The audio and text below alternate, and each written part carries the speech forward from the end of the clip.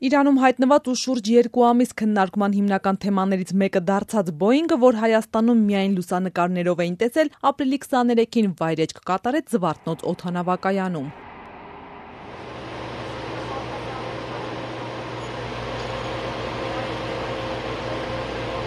զուտ ուրախանանք, որ վերջապես վերադարձավ օթանավը։ Ինքնաթիռի վերադարձով ուրախացողները շատ էին, իսկ առեղծվածային թռիչքի մասին տեղեկությունները քիչ։ Համենայն դեպս հիմա, երբ քրեական գործ է հարուցված, որևէ մանրամասն քննության ընթացքի վերաբերյալ ներկայացնել չեն շտապում։ Հստակ է մեկ բան՝ ինքնաթիռը առևանգելու փորձ է արվել։ Քրեական գործն էլ հարուցվել է օթանավը զավթելու հատկանիշով։ Հիմա դեռ քննությունը քննություն են կանում, չեմ կարա բաց խոսամ քննության արդյունքների մասին, հենց որ ավարտվի քննությունը անպայման առանձին մենք հայտարարությամբ կգանք։ Պատժվողներ կլինեն։ Մենք չենք պատիժ տվողները, բայց հուսով եմ, որ կլինեն, որտեղ սա հանցագործություն է։ Boeing B737-300 տեսակի ամերիկյան արտադրության ինքնաթիռը գրանցված էր հայկական Fly Armenia Airways ավիաընկերության շարժակազմում, որը 5 տարով վարձակալել է այն։ Boeing-ը մեկ անգամյա թռիչքի թույլտվություն էր ստացել Տալին քաղաքից ուկրաինական Հոստոմել օթանավակայան թռնելու համար տեխնիկական սպասարկում անցնելու նպատակով, սակայն ինքնաթիռը շեղվել էր նախնական ուղուց վայրեջք կատարել Վառնայում, որից հետո ուղղություն է վերցրել դեպի Իրան։ Շուրջ 2 ամիս պահանջվեց իրանական կողմի հետ բանակցելու ինքնաթիռի տեխնիկական տնտեսական խնդիրները վերացնելու եւ ամերիկյան արտադրության Boeing-ը Հայաստան տեղափոխելու համար։ Դժվարությունները բազմաթիվ էին պնդում են թե ավիաընկերությունից, թե քաղավիացիայի կոմիտեից։ Ի վերջո հասկանալով թե որ երկրում է գտնվում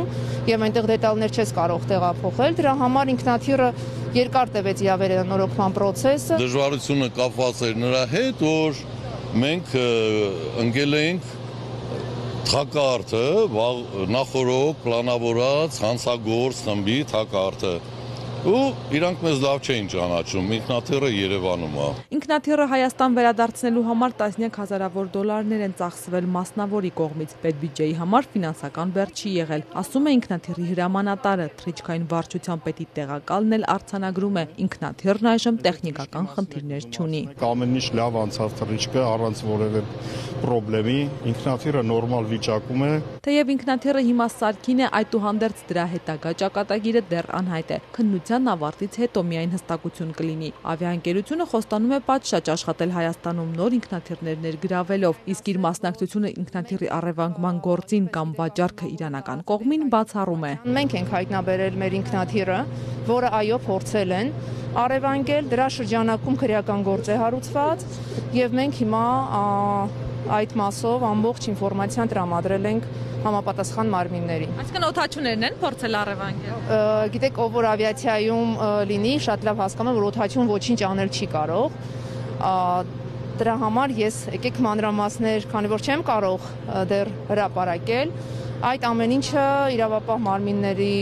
թույլտվությամբ եւ իրանց հետ աշխատանքից հետո մենք կհրապարակենք։ Որ Boeing-ը վաճառվել է Իրանին շրջանառվող ամենատարածված վարկածներ, այս մասին նաև իրանալեզու մամուլն էր գրում։ Ավելին նշվում էր, որ գործարքը դեպքից ամիսներ առաջ է կատարվել։ Գնորդն էլ Caspian Airlines ավիաընկերությունն է, որն իր շարժակազմում 3 Boeing ունի։ Միացյալ Նահանգները, որն արգելել է ցանկացած ամերիկյան արտադրության ինքնաթիռների ու ավիացիոն պահեստամասերի փոխանցումը կամ այլ կերպ դրանց տրամադրումը Իրանին, կոչ էր արել այս հարցին առնչվող բոլոր կողմերին անհապաղ հստակեցնել ինքնաթիռի գտնվելու վայրն ու կարգավիճակը պատժամիջոցներից խուսափելու համար։ Ըստ քաղավիացիայի ինքնաթիռը վերադարձնել հնարավոր եղավ արտաքին գործերի նախարարության եւ քաղաքացիական ավիացիայի կոմիտեի համատեղ ջանքերի շնորհիվ իրանական կողմի հետ գործակցության արդյունքում։ Քաղավիացիայի կոմիտեն անցկացրած քննության ու արդյունքների մասին պարզաբանմամբ հանդես կգա առաջիկայում։